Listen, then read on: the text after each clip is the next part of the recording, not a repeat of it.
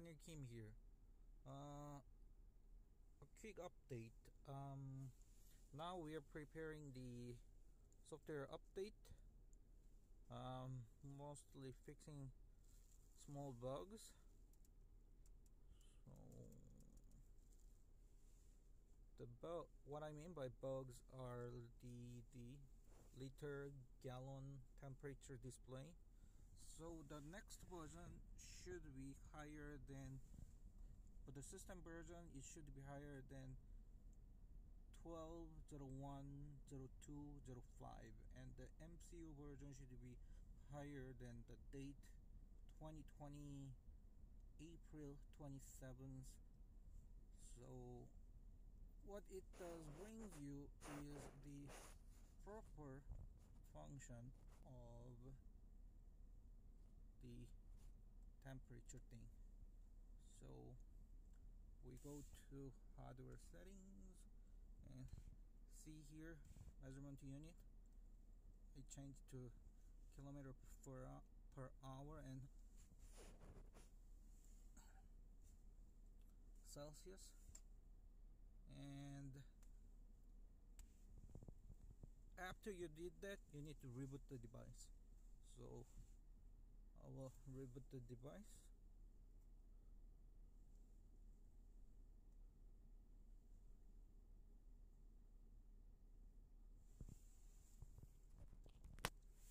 By the way um for the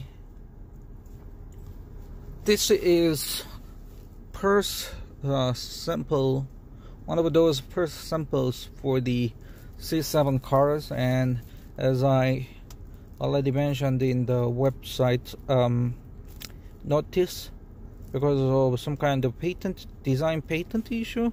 We cannot use these plastics anymore so we need to get new, newer plastics. So uh, it will be slicker in general but the silver lining would be thicker. Anyway let's check the dashboard. Yeah as you can see it's totally showing kilometer per hour 50 liter and uh, outside temperature 9.5 Celsius which is um, the exactly the the corresponding uh, number to the Audi factory system.